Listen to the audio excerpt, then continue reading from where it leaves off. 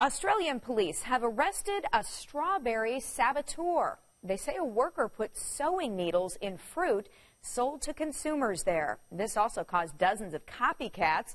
The woman is now charged with goods contamination and faces up to 70 years in prison.